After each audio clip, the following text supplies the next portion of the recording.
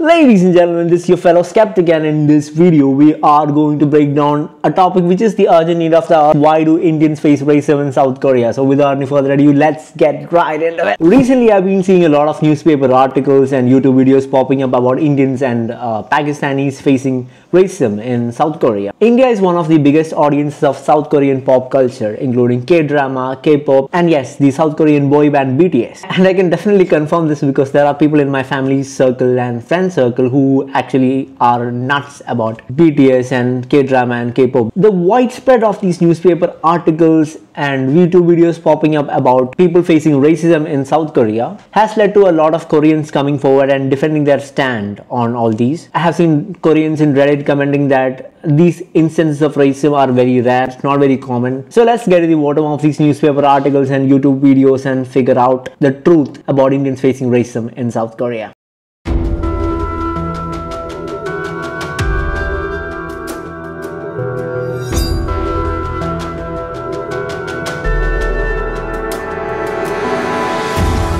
South Korea is an eastern nation on the southern half of Korean peninsula with a population of about 51.5 million. South Korea is a fully developed country with a high literacy rate. South Korea has a 97.97% in their literacy rate and has a very powerful economy the South Korean economy is considered the fourth largest in Asia and 12th largest in all over the world. Could it be possible that such a developed and literate country like South Korea is responsible for several allegations of racism of Indians and Pakistanis and so on? If it is so, then why? Let's look at what some Indians who has lived in South Korea has to say about their experiences. Have you ever faced any form or type of racism or discrimination while living in Korea? When we go for shopping, uh, when we take look at the dresses and all, then they be like they come very fast, like they'll be sitting and relaxing. They just come dash out and they're like dusted. Some Korean guy coming off and dusting off things, it's not that bad, right? It might have been a unique incident. It's not. The next one is really bad. So it was like a bright, sunny morning, and it was in a bus stop. Like some random uh, Korean middle-aged person, he just approached me and he was like, "Who? Where are you from?" Like just just another Korean person, I thought. So he said, "Where are you from?" and everything. I said, "I'm from India," and uh, he was like really talking nice with me. And suddenly he started like. Uh, um, uh, he tried to like hug me and stuff like that. And he said uh, you people come here like to study and like work and later you, you just want to get married to a korean and settle in korea. So is it okay if i just you know touch you or something like that? That was one uh, experience that i can never forget till date. And these are just not two incidences. There are a huge number of videos and interviews of people who have been to south korea facing little nuggets of racism here and there. I just show two of them as examples. The picture i'm showing right now is a poster that is is put in front of certain Korean shops that prevents Indians and Pakistanis from entering these shops and the government doesn't do anything much about it. This behavior is kind of starting to be normalized in South Korea which is very disappointing. This issue started catching a little bit of a heat. One of the Indian native vloggers in South Korea decided to visit a club with some of his friends. This was one of the first times he has visited a South Korean club and things did not really go the way that they planned. It's a rule. It's a racism. When he and his friends went to the first club, the guard or the bouncer who was standing in front of the club uh, asked them not to go into the club. When he went to the next club, the experience was way more brutal. At the next club, the person who was in front of the club simply showed them away by giving them a hand sign. What is the difference? What is the difference? What? You can check out his channel. I'll put a link to his channel, Subtle Korea, in the description below. He had made a whole video regarding racism in South Korea situation. The news article that you're seeing right now is a South Korean restaurant that does not allow Indians to be in the restaurant or dine in the restaurant. And this is in South Korea, right? Wrong. This is actually in India. As a matter of fact, it is in Andhra Pradesh where it does not let any Indian people dine in there. The staff claims it is just for South Koreans. A journalist who tried to dine in there had the following thing to say, quote, When I went there, they said that the restaurant is not open for Indians, they have put up posters as well. I'll put a link to where I got this article from as well. You can check it down in the description. People face racism in different ways. It might not necessarily be direct. You can look at this interview where this girl who has been living in South Korea had faced an indirect form of racism. And this was not a rare instance where it happened on a regular basis. For example, if I'm sitting in a bus or subway, in case I get on a subway, I sit somewhere. Yeah. So person besides me will get up and sit, go sit somewhere. So Really? yeah, Yeah, and it has happened to me so many times that now I'm used to it. Instances of racism are not specific to Indian. We can take an example of this video. Have you experienced any racism in Korea? Yes, but honestly, what what's kind of like sad is that I've gone to many countries. Yeah. Almost every country does it. Yeah. Can you tell me any experience? Yeah, um, I think that sometimes it's not just because I'm black, but I think also um, they think like, oh, maybe they don't speak Korean or something, so they say like, oh, like no foreigners or Okay, so is the racism just about color? Are the dark skinned people facing racism in South Korea and all the white skinned people, irrespective of where they're from, get away from it? Not exactly. I think this is where Americans don't know how other countries are so racist. how exceptional is, America is. yeah. Yeah, in South Korea, they discriminate literally. All the people come from poor countries. That includes, I'm so sorry, India, You're not sorry. Philippines, Thailand, Vietnam, and North Korea too. We are very poor. Yeah. And they look up to people coming from the Western European countries who are white. Um, And so, yeah, even though we speak the same language, we have same genetics, same history, we are same Korean, they just discriminate us because we are coming from a poor country. Now, all of this comes down to this single question that we have to answer why? Let's dig a little bit deeper and find out the root cause. There are a few reasons for this. One of the major reasons because of the misconceptions and false content. Even though Korea is a very literate country, a lot of native South Koreans still live in their shell. A lot of countries, not just South Koreans, have this lack of exposure towards countries like India, which would lead to a lot of stereotypes. 어, 네, 봤는데 대부분 좀 안 좋은 인식으로 많이 나오는 것 같아요. 어떤 안 좋은 것들이 있어요?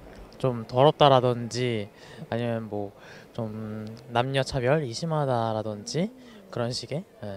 크게 별로 신경은 안 쓸 것 같은데 그냥 머릿속에 이제 고정관념이 박혀 있는 인식이 약간 그런 부분이지 않을까 네, 생각이 듭니다. This is not the case for all the Koreans. There are Koreans who do enjoy a little bit of Indian culture. For example, there's this guy who does love Three Idiots. 세월간이라는 영화를 너무 재밌게 봐가지고 근데 인도라는 그런 문화 자체를 잘 보여주면서 엉뚱하게 어, 재밌게 이렇게 좀 뽑아내신 것 같아가지고 어, 인도 좀 유쾌하게 좀 재밌는 나라다 라는 생각이 들어요. And there are cultural issues in certain parts of India where the behavior of certain people might not be considered the best. Let's take this certain article for example. Here, a man is arrested for behaving inappropriately towards a Korean vlogger, and based on what she said in her video, quote, I have to run from here, they really like to hug. This in turn created a lot of public outrage and further leading to the arrest of this guy. Even though these kind of incidents are rare, it is still there, which is a matter of great disappointment. You know what happens when a country gets really high literacy rate? There's a very high likelihood that people who are seeking blue collar jobs will go down. So most people who are coming out of colleges with very high level of education would most likely not want to do a blue collar job. So this unemployment in blue collar jobs can actually disrupt their economy in a great extent, which is why sign a pact with India to source skilled manpower and open doors for blue collar workers. And based on this news article, there's a demand for skilled and low skilled workers in agriculture, manufacturing, construction, waste disposal, meat transportation, cargo handling, and housekeeping sectors in Korea.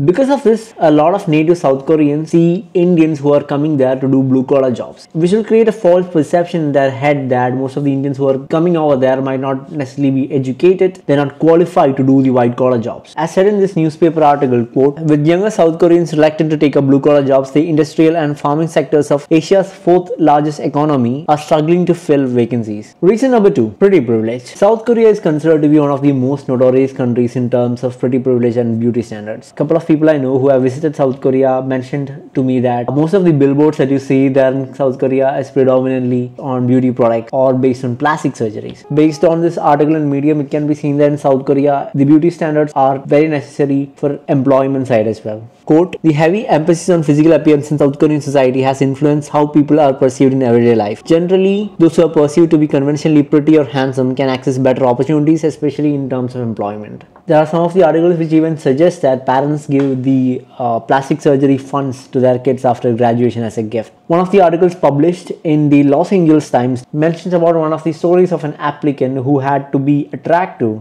to stay relevant in the hyper competitive market. When she submitted a resume to her employer, she was rejected because the person in the photo in the resume did not look like her. Some of the South Korean job listings mandate the applicants to attach their photographs. One of the advertisements that I find really interesting is that it suggests C cup as the ideal bra size for a female candidate to apply for a certain job. A lot of the most popular K-pop idols that you see have mainly thrived at the initial stages of social media because of their looks. At a certain point in my life, I used to think that lack of education was a reason which led to things like pretty privileges and stereotypes based on color. We can clearly see it is not. I could think of certain instances where I was given more preferences because I was a little more studious and I looked a little more white. There are instances where people who are prettier than me had been given more privileges. So we cannot say that this behavior is not common. But the issue is that when this becomes a standard, when this becomes normalized, that is a problem. The problem that is happening in South Korea right now at the moment is it has become normalized so much that it is not even considered an offense. And I have mentioned in the beginning of this video that a lot of Koreans came up and defended their stand that uh, these incidents are rare as we have seen that it is not rare, it's very common in South Korea. Is it also there in other countries as well? There are a lot of Asian countries where this pretty privilege is very predominant. There's a place called Little India in Singapore where blue collar workers from India who are poor and who did not match the socio-economic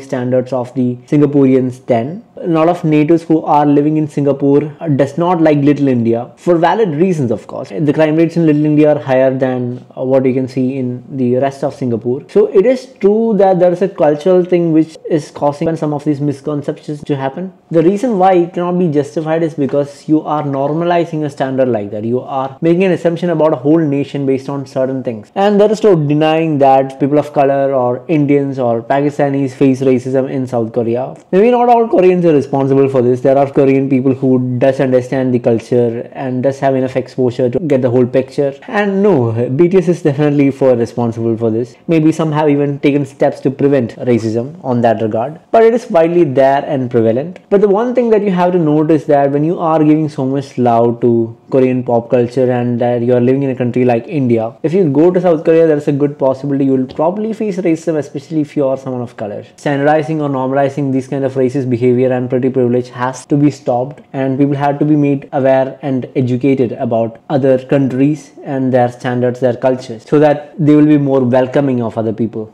Now we have also seen the other side of issue where Indians acting hostile towards people of other nationality or even people of other caste or culture. Please comment down in the comment section about some of the future videos that you would like to see in this channel. And I would highly recommend you share this video to some of your friends who are actually a part of the BTS army or Korean pop culture so that just that they're aware about all these things which are happening. Thank you so much for sticking with me throughout the video. I really appreciate your time. Hit that notification bell and the subscribe button and hit the thumbs up and let YouTube you know you like what you're watching so that they would promote my content. Thank you so much. I'll see you guys next video. Bye bye.